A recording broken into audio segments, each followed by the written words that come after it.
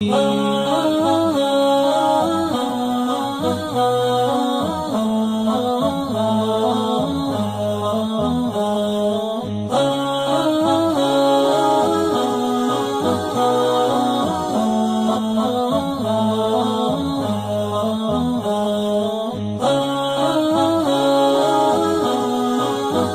Aleyküm ve Rahmetullah ve Berekatuhu. Değerli Müslümanlar verdiğin senindir insani yardım vakfı olarak 7. tırımızı deprem bölgesine çıkarmak üzere toplamış bulunuyoruz. Rabbim öncelikle göçük altında kalan yardım isteyen Müslüman kardeşlerimize yardım edebilmeyi bizlere nasip eylesin. Oralara ulaştırmayı bizlere nasip eylesin. Amin.